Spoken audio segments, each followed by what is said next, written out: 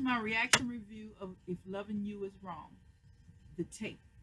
The kids are asking Brad where he was last night. You just left us in the house. He told them he was next door talking to Miss Marcie. Eddie done just barged in the house, hollering over the kids, saying, Hey, why you didn't tell me about this kid? And telling the kids to get out, go work somewhere else. Eddie said he he said Brad said he didn't want the kids to know. Keep your voice down. Eddie said they have eyes. They're gonna know. Eddie telling Brad to kill her. Cause no one embarrasses you like this. Eddie said if he don't go up there and tell his uncle, he's gonna do it himself. Eddie said, you take care of this or I'm gonna do something to get us all in trouble. He acting like it was done to him. Even though he he was cheating on his wife and he's still cheating on his second wife. Randall's mom is downstairs fixing coffee. Marcie's coming to the room. She's telling Marcie she's going home tomorrow. Marcie is hugging her. She appreciates that she understands what she's going through. She's asking her, how do I get over? She told her sometimes people don't get over it. Maybe you're one of those people. Marcie says she still loves Randall. His mom says, I know. Marcie said, do you? She says, yes. Anybody with as much passion about hurting some somebody has got to love them or hate them. Marcie says she feels both. Mama says that's impossible. Marcie says she's embarrassed about sleeping with Brad. She feels embarrassed and humiliated. She says she drinks to slow her mind down to keep thinking, to forget about things. Mama said, if you're hurting and in pain, you can't trust yourself. And you really can't trust yourself if you're impaired. Ooh! Marcie says, you're right. Mama said, yes, I am. That's not bad for an old bee. Marcie apologized for that. Mama said, I apologize for calling you a loose whore. Marcie I didn't hear that. Mama said, I was thinking it. And they both started laughing. Ed is upset because Pete didn't come to meet them at the bar like Ben said he would get him to do. Ben explains that he didn't have a chance to, Pete didn't have a chance to look at the tape because Esmeralda walked in.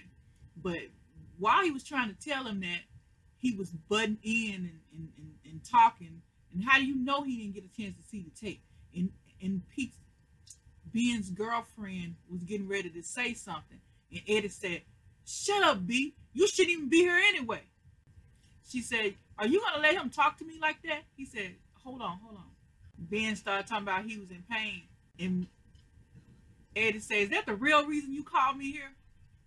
And he reached in the the middle compartment and gave him some pills. Ben said, What do you want me to do? He said, I don't want you to do anything. Get away from my truck. He said, I'm I think he said, I'm coming to the precinct tomorrow and Pete and Pete is dead. I think that's what he said. I'm coming to the precinct tomorrow and Pete is dead. The new lady, Claudia, is introducing herself to Pete. Pete was trying to hide the tape. Pete was looking at the tape of uh, Eddie shooting Ben hand off and the girl, the new girl, after he sent her away to go get some coffee, but she came back and he didn't notice her walking into the room, and she was standing back there looking at the tape. Ben came in the room and asked Pete what he was doing after he took the tape out. He asked him what he was doing. Ben was, Pete was looking nervous, and he said nothing. You know, and he walked on away. And Ben was talking to the new girl, and, and she said, "Oh, I'm sorry." And then he said, sorry about what? About what happened to you. He said, I wish people to stop talking about it. She said, oh, okay, I'm sorry. And she said, I only got a glimpse of it. And he said, got a glimpse of what? Of, of what happened to you. I only got a glimpse of it on the tape.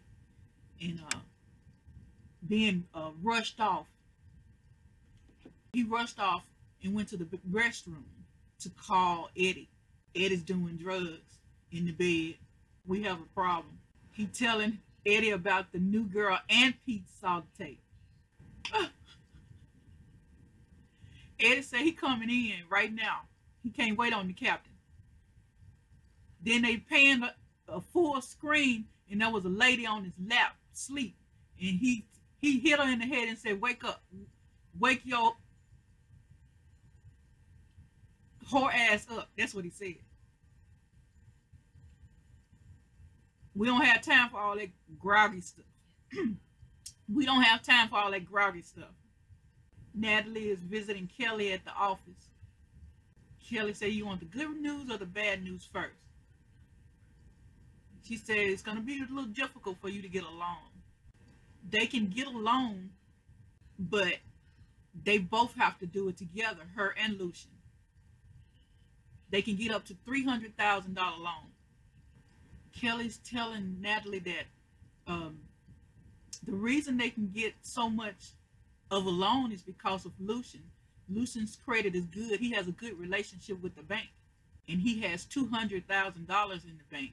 Natalie didn't know. So because she was acting surprised, Kelly asked her, Does Lucian know about this? Did you sign his name? And Natalie said yes. So he she's she has information that Lucian didn't tell her. Kelly's saying she could get fired for that. Kelly is telling her not to tell Lucian about her knowing how much money he got. Nellie says she over here struggling. He got that kind of money. Kelly's begging her not to say anything. Peter's in the locker room. Ben came in there and asked him what happened to him last night. Ben is constantly trying to get Pete to go out with him and asking him questions about where he was and what he's doing. We hung out. we graduated at the academy together. What is up with you? Pete got serious with him and told him to give him a break. Back up. Give him space. Eddie walked into the door and said, Yeah, give him a break. And he walked in front of Ben and told Ben to get on, get gone. Pete said, You back at work? Eddie said, Am I standing here? Pete tries to walk past. Eddie holds him back. Not not so fast. Eddie said, I, I know you got the disc. Make his life easier and give it to me. Pete said, I don't know what you're talking about. Eddie said he talked to the lady at the store and there's only one copy. So give me that copy. He said, Do you really want me to show you face to face what how I do things around here? I know you got it. Pete's constantly saying, I don't know what you're talking about. Pete will not be intimidated. He told him to open the locker or you're gonna die. Pete said, I'm not scared of you. Pete said he going to the captain. Eddie grabbed him. He said, if you go to the captain, you won't live one day in these streets. You hear me? He said, you ought to know I don't care about shooting anybody. As a matter of fact, I get off on it. Pete looked like he about to cry. But he's still saying he don't have it. Eddie jerking him up, him up against the uh, lockers. Pete's trying not to cry. Lucian to the rescue! Lucian to the rescue! Lucian said, what are you doing here? He know he ain't supposed to be back because the captain hadn't called him back. Talking about we gonna be riding together again. Don't you love? Don't you love that? Lucian asking Pete what what that was about. Pete said he just mad. Lucian know he lying to him. You need to tell him, Pete. Pete trying. He he about to cry. Tell Lucian. Cause he will kill you. Eddie will kill you. He crying. He says, so we're not riding together. And can't you just tell the captain you want to ride with me? Lucian tell him he got to ride with Eddie because he's his partner. Tell him. I don't think he want to tell him the truth because he already lied and told him he didn't get the tape. Lucian asked him, is he okay? He said he's fine. He's sucking it up. He tell him he's fine. You need to tell somebody, Pete, because Eddie can kill you and, and nothing be done. Because don't nobody know nothing. Break in the locker, Lucian. Get the tape. Kelly's coming home and what's his name? The next door neighbor's son is cutting the grass with his shirt off. And she just looking. She finally got out the car and, and said hi. He's getting emotional thinking about his mom and saying she liked the, the grass cut. So he said he's a fixer. And he can't fix this, I guess. And so he was getting emotional. And Kelly invited him in. He said, I can't. I'm all sweaty. She said, it's okay. The doctor is visiting Alex. Alex said she's ready to get out of here. The doctor's telling Alex that every time she thinks she's better, her blood pressure shoots through the roof. She can't get out of the hospital until her blood pressure is uh, regulated. She said, Today you're better, but I got to keep monitoring you. Stop getting upset. Brad is visiting Alex in the hospital. He walked through the door in a good mood, talking about, Hello, honey, with roses in his hand. He wants to talk to Alex alone. The doctor said, No, you can't talk to her alone. Her blood pressure is rising with you just standing there. The doctor said, Brad Montgomery, stop it. Are you trying to kill this woman? He said, Well, the doctor said you should be ashamed of yourself. He said, Actually, she should be ashamed of herself. Alex said, I am ashamed of myself. Brad said he has a, a surprise for Alex when she gets home, as soon as she gets home. When will that be, doctor? The doctor said, as soon as you stop this torture. Brad puts the flowers down and walks out the door. Kelly called Marcie for Ramsey to see if he can list her home. But Marcie was trying to talk to Kelly on the phone, but Kelly was like acting like she didn't she wasn't saying anything and saying, I'll okay, I'll put him on the phone right now. Marcie's coming down there in 20 minutes to talk to Ramsey. She's probably gonna be trying to talk to Kelly in person. Fawn came to the restaurant all friendly with Joy saying hi. Joy uh, passed her the money without saying anything. You know, she takes the money to the bank. She's flirting with him. He he said, Don't you know my mother watching me like a hawk? She grabbed his hand and led him around the corner. She kissed him and asked him, Did he miss him? He said, Of course I do, but I can't do this. We can't do this. She's begging. My mom is watching us. Just go. When am I going to see you again? I'll call you later. He said, Wait, wait, wait.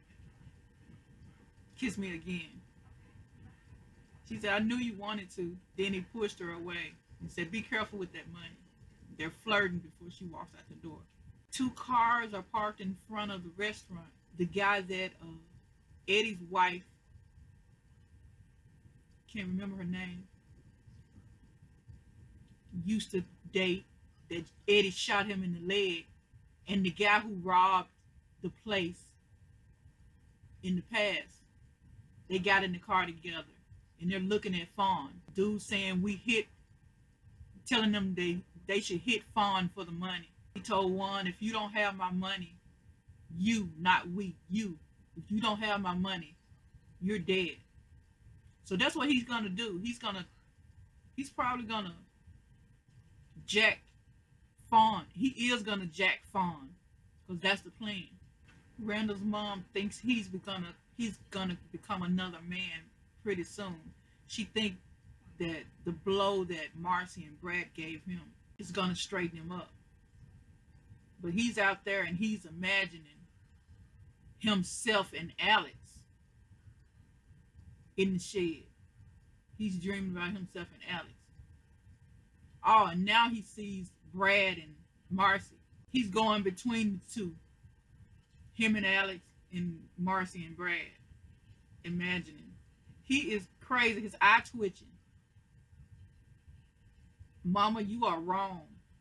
He's crazy. The shed is wobbling.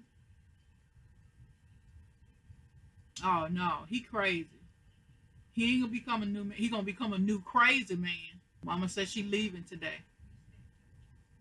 Please stay in touch. They're hugging. Marcie and Mama are hugging. Ooh! Grabbed her, Marcie, by the head and he's choking her. And it went off. Thank you for watching my reaction video for If Loving You Is Wrong.